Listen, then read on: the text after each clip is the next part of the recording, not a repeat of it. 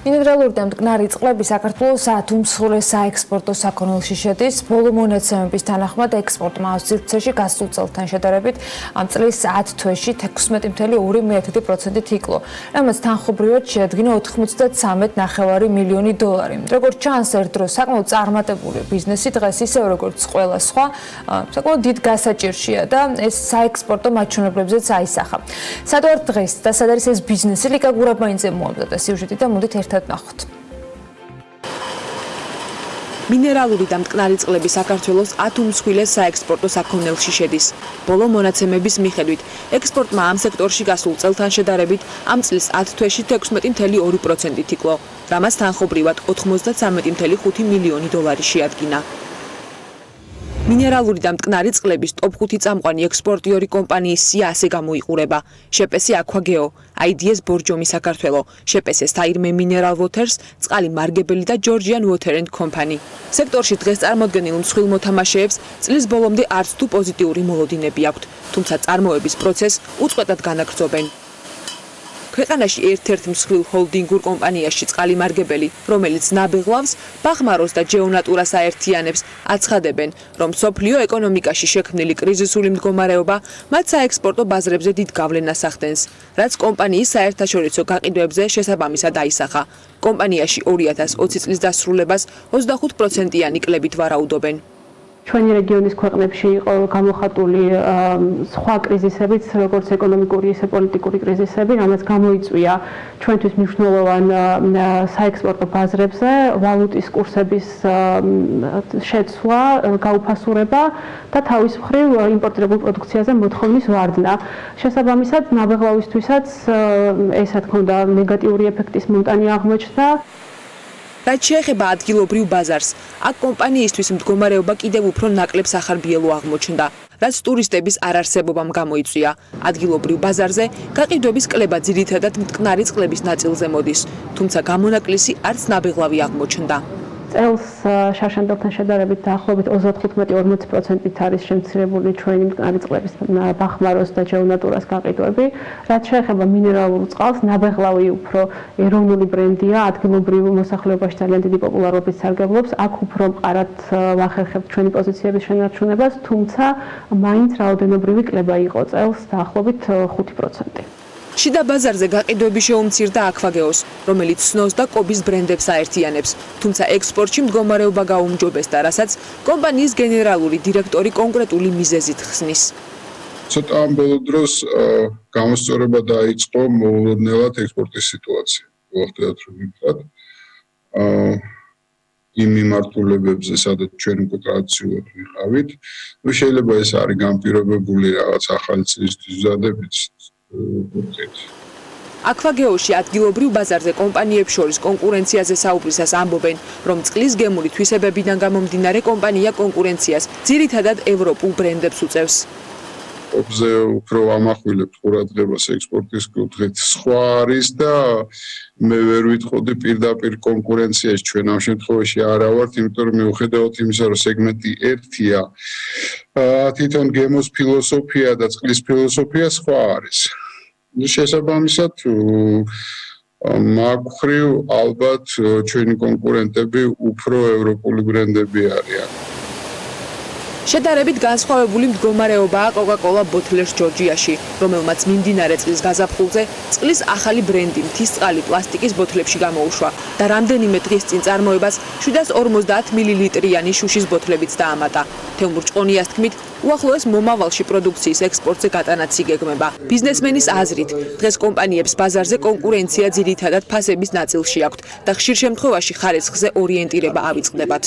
არსებობს ესეთი თქმულება, რომ ფასებით დამკვიდრება, ფასებით მართვა კომპანიის ნარკოტიკზე დამოკიდებულებასავით ხდისო რა, ესეთი მართლა არსებობს ესეთი გამოთქმები, რომ შენი ბაზარზე ბაზარზე დამკვიდრება არ არის ხარის, არის რა თქმა უნდა ხარის, მაგრამ ძირითადად მიმართულება იაფად გაყიდო. ჩვენ ორიენტირებული ვიყოთ შესაბამის ფასში მაღალი ხარისხის პროდუქციაზე.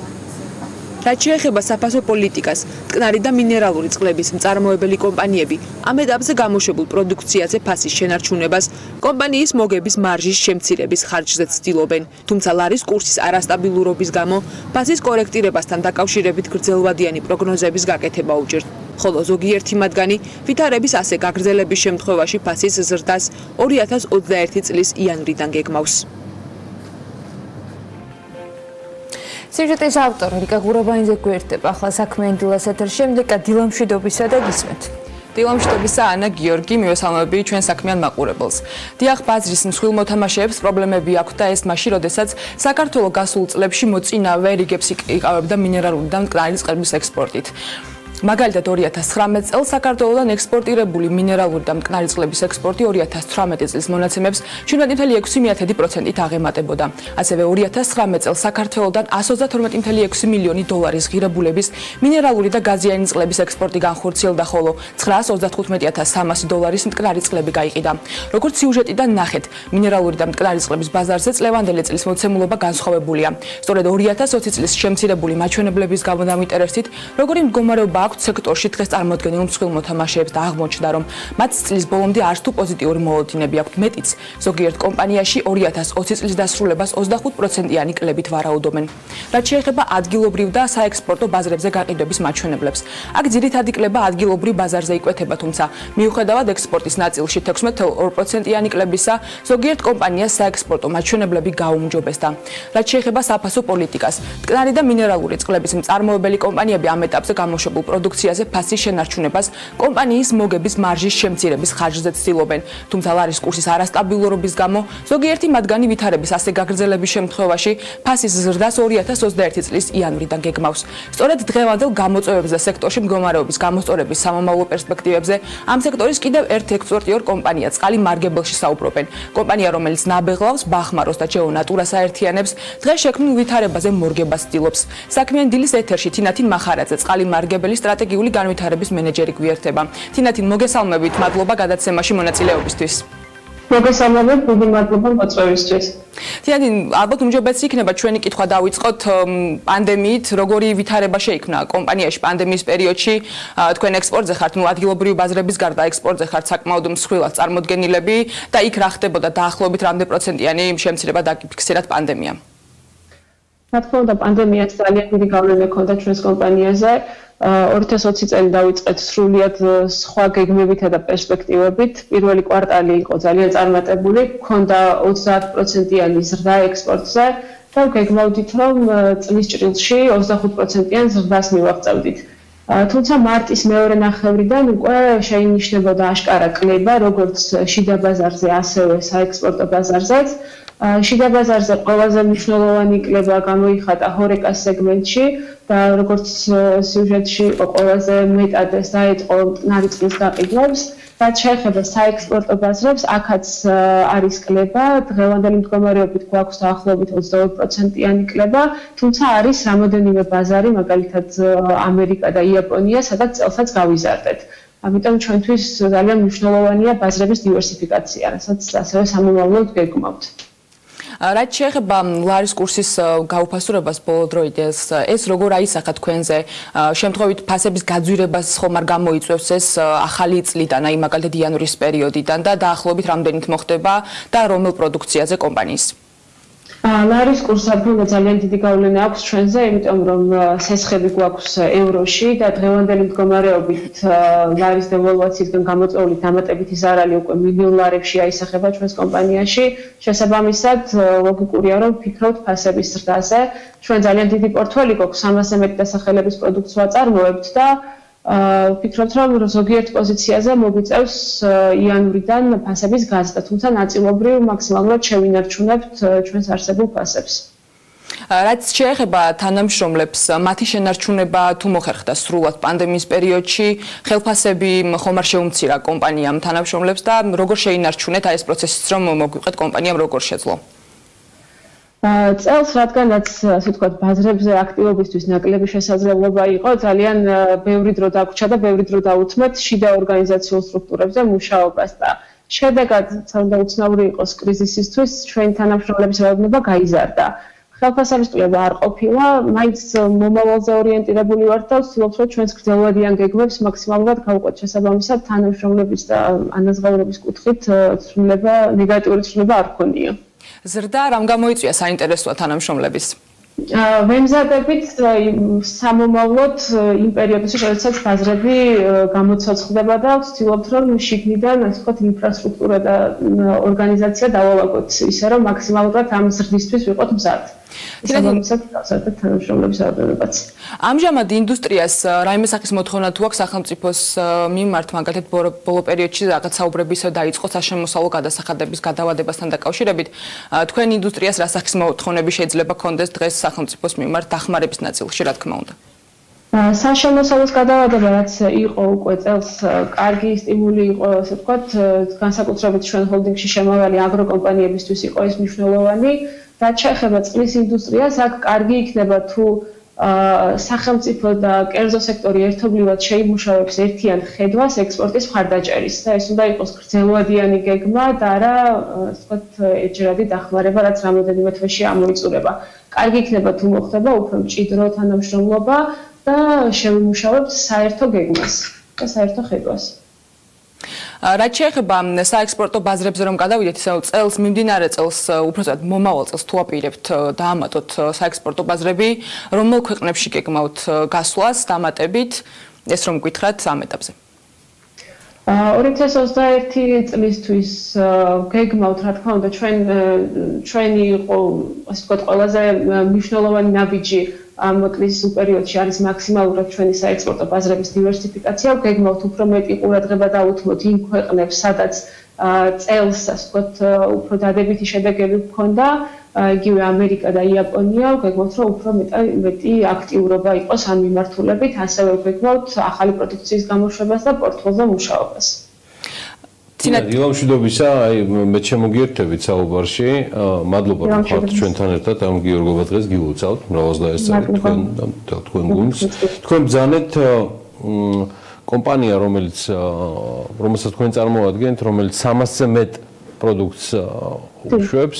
მაქვს ესეთი ცოტა ამ გიორგობაზე ესეთი უცნაური კითხვა, უცნაური რა რთული გახდა ჩემთვისაც, თქვენთვისაც და დარწმუნებული ვარ ნებისმიერისთვის ამაზე პასუხი. მინუს პანდემია. პანდემია, რომელმაც ასე ვთქვათ, ყველა ჩვენი პრობლემა რაღაცნაირად თავი მოუყარა და თვითონ გახდა ავანგარდში ამ პრობლემებისა. რო წარმოვიდგინოთ არაპანდემიური სიტუაცია, რა რჩება ბაზრისთვის გამოწვევები? მე მოვინიშნე თქვენი საუბრიდან ლიკა გურობაინძესთან თავარი რომ აი ექსპორტის გზელვადიან ხედვასთან დაკავშირებით სიამოვნებით ჩაერთვებოდი დისკუსიებში რომ ეს იყოს გზელვადიანი განვითარების დოკუმენტი. ამის გარდა თქვენი აზრით რა ჭირდება ინდუსტრიას? აი რა ჭირდება თქვენს კომპანიას აიმისოთ რომ მაგალითად უფრო მეტად განვითარდეს, გაორმაგოს ეს მიმართულებები, შემოსავლები და ყველაფერი გისმენთ? ჩვენს რეგიონში ზოგადად ყველაზე მნიშვნელოვან პრობლემად რჩება ვალუტის კურსი, რაც არის საქართველოსში და რაც არის ასევე იმ ქვეყნებში, რომელიც წარმოადგენს ჩვენთვის მნიშვნელოვან საექსპორტო ბაზრებს. წელს თითქმის ყველა ქვეყანაში ჩვენს რეგიონში იყო დევალვაცია. ეს არის ძალიან გაუფასრება, ეს არის ძალიან მნიშვნელოვანი პრობლემა, აბსოლუტურად ცვლის კომპანიის ფინანსურ სტრუქტურას და ჩვენს გეგმებს. ეს უკვე რა თქმა უნდა სტაბილურობა ამ ხრივ ეკონომიკური სტაბილურობა არის პირველი რაც კომპანიას ჭირდება იმისთვის რომ განვითარდეს და ასევე ფინანსური ინსტრუმენტები რაც იგივე ვალუტის კურსების რისკების დაზღვევას დაზღვევაში დაგვეხმარება. თვლით თუ არა რომ ეს ფინანსური ინსტრუმენტები არ არის თქვა ჯერონად იმდენი წარმოდგენილი რომელიც იგივე რა თქვა არსებობს ჰეჯირების და სხვა მიმართულებით რომელიც თქვენ გადაგაზღვევდათ ამგვარი რისკებიდან იმიტომ რომ აბსოლუტურად სწორი აღნიშნეთ. გარდა ქართული ლარის ვოლატილობისა სახეზე არის მთელი რეგიონის ვალუტების დევალვაცია დიახ, ვფიქრობთ, რომ ეს უფრო უკეთესად უნდა იყოს წარმოადგენილი, უფრო მეტად ხელმისაწვდომი უნდა იყოს და ჰეჯირება, ასე ვთქვათ, არ უნდა წარმოადგენდეს განსაკუთრებულად დიდ ხარჯებს კომპანიისთვის. ეს იმიტომ რომ ამ ჩვენს რეგიონში ეს არის აბსოლუტურად აუცილებელი ინსტრუმენტი. რომელიც დღეს განსაკუთრებულად ძვირია, რაშიც ასევე გეთანხმებით. აა თინა, როგა ვაკეთოთ რეზუმირება ჩვენი საუბრის. შეიძლება თუ არა ითქვას, რომ ფინანსური სტაბილურობა ამ შემთხვევაში გულისხმობ უფრო სავალუტო სტაბილურობას, მოდი ესე ვიტყვი, მის გადასხვევას და საერთო ხედვა ექსპორტის შედარებით გრძელვადიან განვითარებაზე წარმოადგენს რაღაცა ქვაკუთხედ ორ მთავარ თემას ამ ინდუსტრიისთვის, რომელიც მას სწრაფად განავითარებდა, ცხადია თქვენი კომპანიის თამადობით. დიახ, რა თქმა უნდა, ჩვენთვის ეს ორი მიმართულება არის ყველაზე მნიშვნელოვანი, რაც ასე ვთქვათ, გარე ფაქტორებზე არის დამოკიდებული, დანარჩენი უკვე არის თვითონ კომპანიის მონდომებაზე, პროდუქციის ხარისხზე და მუშაობას დამოკიდებული. ეს ორი ძალიან მნიშვნელოვანი მომენტია, რასაც ვისურვებით, რომ სამომავლოდ იყოს ვთქვათ მოგვარებული. მიხო სიმონიშვილს მოკითხვა. ბატონო თუ სიმონიშვილს მოკითხვა, მთელ თქვენ გუნდს მოკითხვა, მაგრად იყავით, წარმატებებს გისურვებთ. კომპანია წყალი მარგებელი სტრატეგიული განვითარების მენეჯერი თინათინ მახარაძე იყო ჩვენთან სტუმრად იგი რიკა გურაბანიძე მოიპატიჟა რომელიც მთელი კვირა მუშაობდა ამ თემაზე და საკმაოდ საინტერესო ინდუსტრიული მიმოხილვაა უკვე მეორე მოახერხა Forbes კვირისთვის რომელსაც ტრადიციულად ყოველ ორშაბათს ამგვარად გავაგზავნებთ. დიგა ხარ ჩამოყალიბებულ ხარ ასაპირებ დამდე კვირაში თუ ერთად ვიფიქროთ ცოტა ხანში. აუცილებლად შევჯერდებით მაგ გარკვეული სახის კი იდეები, რა თქმა უნდა, მსხვილ წარმოებას შეეხება, ისევ თავისთავად რომ გავიგოთ რა ხდება რეალურად დღეს საქართველოში. მადლობა საინტერესო საუბრისთვის. აა კომპანიას წარმატებებს უსურვებ კიდევ ერთხელ